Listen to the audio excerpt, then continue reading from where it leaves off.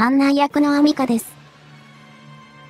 スターリングエンジンを搭載した潜水艦の建造は、そろそろ終わりになります。そんな中、日本の最新鋭潜水艦は、クゲイの浸水式は、無事に迎えることができました。ここで、オーストラリアが、源泉導入計画を発表しましたが、それに刺激を受けたのか、いよいよ、日本の源泉を導入するのかという噂が流れ始めているようです。今回は、海自潜水艦の22隻体制について、詳しく見ていきたいと思います。大芸、潜水艦も、いよいよ収益する予定ですし、日本は、通常動力型潜水艦で、トップの性能を誇り、戦略的にも、潜水艦では、世界屈指と定評があります。大芸の先行深度は、もちろん非公開ですが、各国をはるかにしのぐ深さまで先行可能ということは事実です。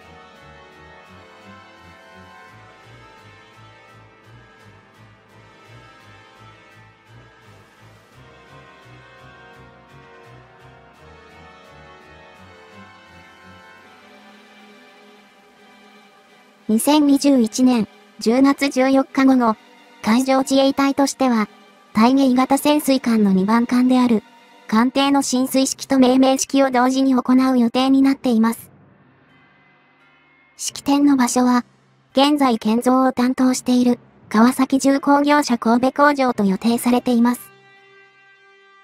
大芸型1番艦で、ネームシップである大芸派、この神戸総選所で、ちょうど1年前の2020年10月に、浸水式と命名式が終わりました。現在は最終偽装中で、2022年3月には引き渡しされると考えられています。大芸派引き渡し後、開示による海上公試し等の上、実戦配備されることになります。2013年、平成25年の防衛計画大綱に、稼働潜水艦22隻の運用体制の構築と謳われていましたが、この組織目標をまず達成することになるわけですね。この防衛計画大綱ですが、世界で6番目に広い領海を持つ日本において、防衛に必要な潜水艦の数を計画として定めていたものでした。今は22隻体制となっていますが、それ以前には16隻体制を構築することによって、広い領海をカバーする戦略が決定されていた状態だったのです。それにしても、世界で6番目という暗い日本の領海は広いんですね。日常的には全くと言って良いほど感じないのですが、平成25年の防衛計画大綱で潜水艦16隻体制から22隻体制へと6隻増加を打ち出した背景を説明しますと、やはり中国です。近年海洋進出が著しい中国海軍への備えを強めざるを得ないという政治判断が下ったのです。しかも、この判断は、ますます強化されている傾向にあることは言うまでもありません。もちろん、これは中国が艦艇を南シナ海や台湾海峡、尖閣諸島を含む南西諸島方面へ出没させていることがあります。その数は年々増えていることもお分かりでしょう。中国は今まで以上のスピードで心臓感をこういった海域、日本の領海も含むに投入してきていますから、この現状を考えれば、当然の対応と判断せざるを得ないと思われます。海上自衛隊は、ヘリコプター搭載型護衛艦である出雲や香川航空母艦に変えるために、改修工事を予定しています。その後に、F35 ライトニング 2B 型戦闘機を、艦載機として軽空母のように運用する対策も同時進行中なのですが、やはり中心戦力となるのは潜水艦でしょう。前述したように、2022年3月、最新型大芸が開示に引き渡されることによって、潜水艦22隻体制が確立することになります。内訳は、大芸型1隻、総流型12隻、親潮型9隻ということです。この中で、親潮型は、1998年、平成10年から収益しています。かなり、息の長い艦と言えましょう。約70名の乗組員を要する通常動力型潜水艦で、サイズは、基準排水量2750トン、水中排水量3500トン、全長82.0メートル、全幅8.9メートル、深さ10.3メートル、喫水7.4メートルということです。この間の期間は、ディーゼルエンジンと鉛製蓄電池、発電機とモーターを備えている、ディーゼルエレクトリック方式です。親潮型は計11隻が建造されましたが、そのうちの1番艦と2番艦は、練習艦に変更されているので、実戦に配備されるのは9隻ということになります。そう、竜型は、2009年、平成21年から収益しました。乗組員は約65名。サイズは、基準排水量が2900トンから2950トン。水中排水量4200トン。全長84.0メートル。全幅9.1メートル。深さ10.3メートル。喫水8.5メートルですから、親潮型より少し大きいようです。そう、竜型は、1番艦から10番艦までは、非待機依存推進型のディーゼルエレクトリック方式を採用しています。これは、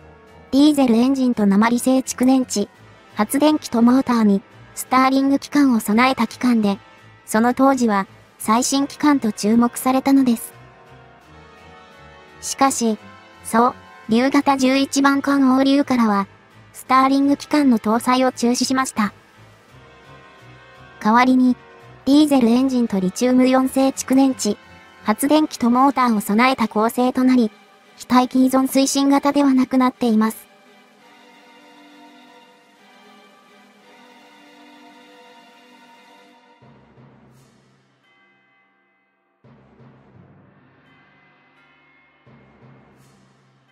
ターリング機関の搭載を止めたことで、欧流以後の性能は、カタログデータ上ですが、水中の軸馬力は8000馬力から5600馬力へ、水中最高速度は20ノットから18ノットに低くなった形ではありますが、使用する上での水中性能の持続力は逆に増大したと言われています。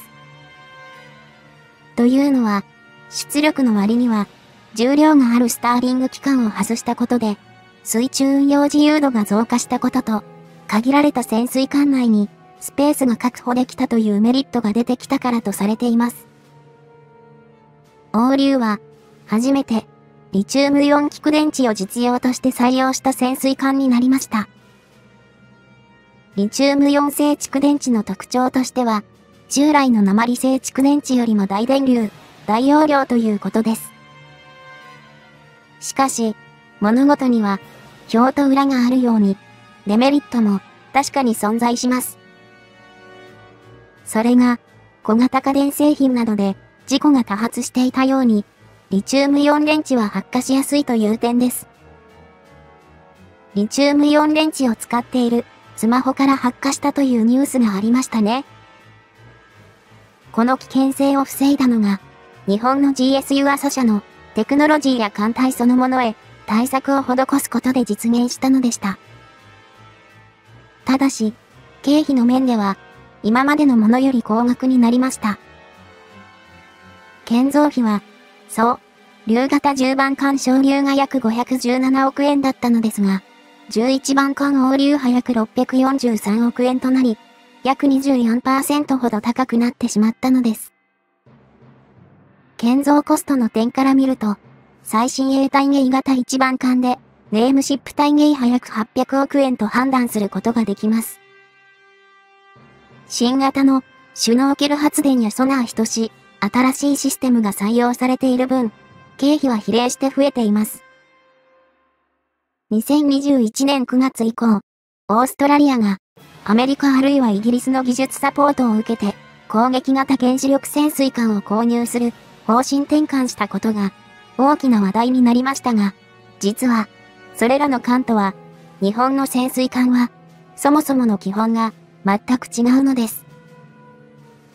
アメリカ海軍の最新攻撃型艦船は、乗組員が130名以上のバージニア級で、水中排水量7800トン、全長114.8メートル、全幅10.4メートル、喫水が9.3メートルという大型潜水艦です。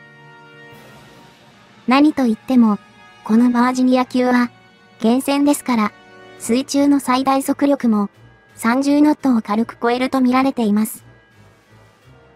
オーストラリアは、このスピードと、それによって拡大する行動範囲の広さ、トマホーク対地巡航ミサイルによる長距離対地攻撃能力が欲しかったものと推測できます。